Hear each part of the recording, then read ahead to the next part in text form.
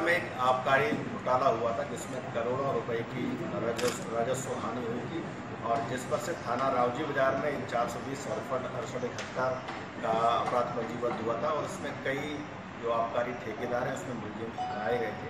इसमें अब तक लगभग 10 या 11 आरोपी इसमें गिरफ़्तार हो चुके हैं और अभी एक जो इसमें महत्वपूर्ण आरोपी था अभिषेक शर्मा, उसको पकड़ने में क्राइम ब्रांच को सफलता मिली है।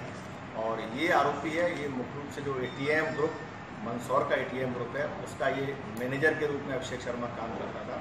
और इसने, इसके नाम से सावेर जो ग्रुप यहाँ आबकारी है उसमें कुछ दुकानें ली थी और उन्हीं का संचालन कर रहा था। ये मूल रूप से अंश त्रिवेदी से जुड़ा हुआ व्यक्ति है।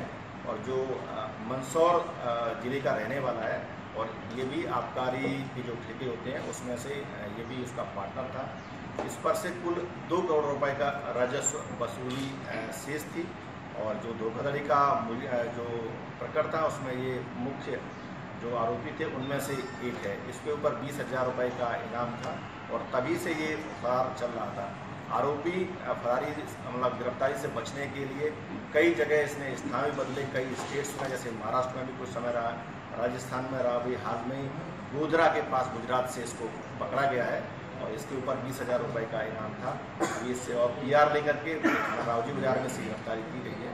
और अभी इसमें पीआर और लेखक के अन्य जो इसमें घटना के संबंध में और दस्तावेजों के संबंध में विस्तृत पूछताछ की जाएगी। सर इसको जिन लोगों ने पन्ना साल खत्म हुआ।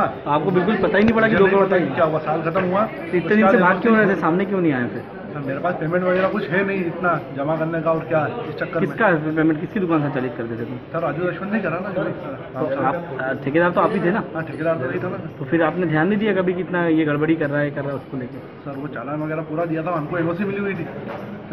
एनओसी वहाँ से मिल गई थी मतलब। मतलब आपको लगता है कि आपका अधिकारियों का इन्वॉल्वमेंट है इसमें?